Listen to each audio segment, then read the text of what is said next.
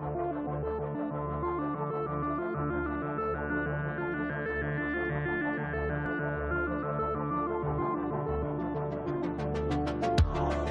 est clair que la violence a été au centre de l'histoire de l'humanité. Cette violence, aujourd'hui, a décru en grande mesure parce que les grandes guerres interétatiques sont derrière nous. Je ne veux pas dire que les guerres interétatiques ont disparu, mais elles sont sous contrôle. Et donc il faut bien évidemment garder les instruments qui ont permis de contrôler la violence des États, à commencer par euh, la dissuasion. Euh, la guerre aujourd'hui, c'est essentiellement la guerre à l'intérieur des États avec des factions et ce niveau de violence, même s'il il atteint des chiffres assez euh, importants, reste malgré tout très en deçà de la grande violence que les États peuvent créer. Or, cette violence étant derrière nous, on n'est pas habitué.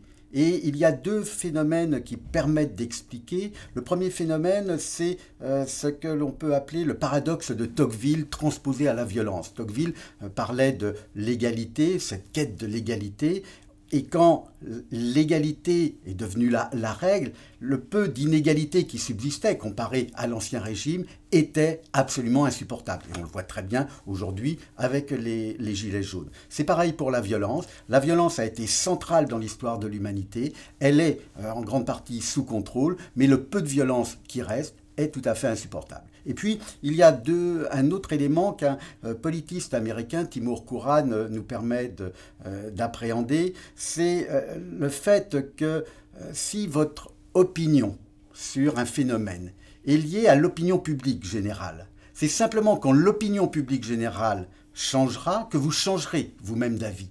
Inversement, si votre opinion est fondée sur un savoir, un fait nouveau permet de modifier votre opinion. Or, concernant la violence, la majorité de la population qui lit une presse dans laquelle, bien évidemment, on ne parle que des catastrophes, que des crashs d'avions et non pas des, avions qui arrivent à, l'heure, c'est ce que Pinker appelle le biais de la négativité, eh bien, euh, un fait nouveau comme celui que les bases de données sur la violence mondiale euh, peuvent nous permettre d'appréhender, à savoir aujourd'hui, c'est 90 000 morts dans des violences politiques à l'échelle de la planète, eh bien ce fait ne peut pas suffire pour vous faire changer d'avis.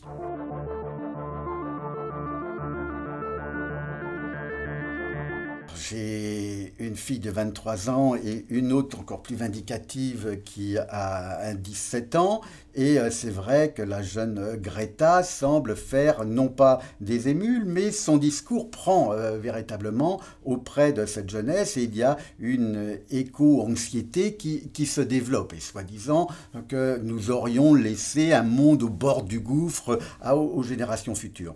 Je pense que si les générations euh, nouvelles peuvent s'intéresser à la nature, aux arbres, c'est parce que l'homme n'est plus fondamentalement menacé. Et donc, je crois que ma génération et la génération précédente a bien œuvré pour l'humanité, et c'est justement parce qu'elle a réussi à mettre la violence euh, sous le boisseau, sous, sous contrôle, que la jeune génération aujourd'hui peut s'intéresser à ces problématiques. Si à l'IHEDN, le thème de l'année, c'est le réchauffement climatique et la défense, c'est bien parce qu'il n'y a plus de menace existentielle sur les frontières de la France.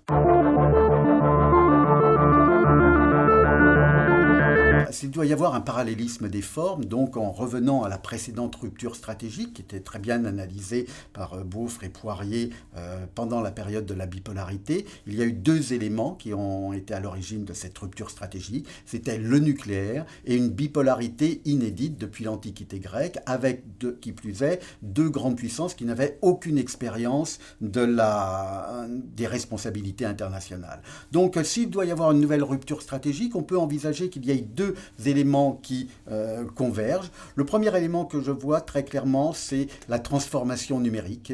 Euh, avec un, environnement qui sera totalement différent de celui que l'on peut imaginer aujourd'hui. Et je crois que euh, la prospective sécuritaire devrait être beaucoup plus attentive à l'anticipation romanesque. C'est d'ailleurs euh, pourquoi au sein de l'Agence d'innovation de défense, on est en train de créer une structure faisant appel à des romanciers et des scénaristes pour envisager cette rupture en dehors des cadres euh, technocratiques. Donc la transformation numérique, c'est le premier élément de cette euh, future rupture. Et le deuxième élément, c'est le début de désoccidentalisation du monde auquel nous assistons aujourd'hui. Jusqu'à présent, euh, l'Occident a le monopole de la création des universaux et les grandes représentations sont fondées sur des idées occidentales. En matière de violence, Clausewitz incarne bien cette image de ce qu'est la guerre totale, avec l'échiquier sur lequel la bataille décisive va permettre de prendre le contrôle de territoire.